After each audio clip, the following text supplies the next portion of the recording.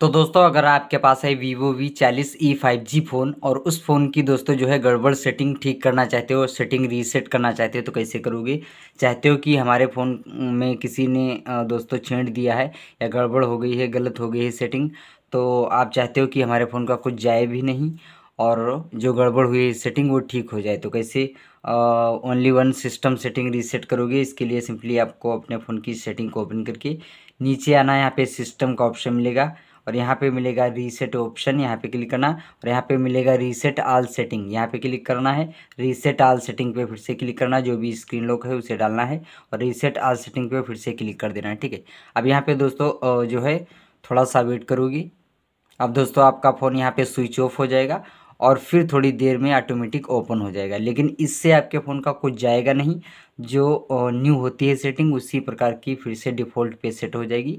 यानी only one system setting reset होगी। आपके फ़ोन का कुछ जाएगा नहीं, गड़बड़ सेटिंग ठीक हो जाएगी।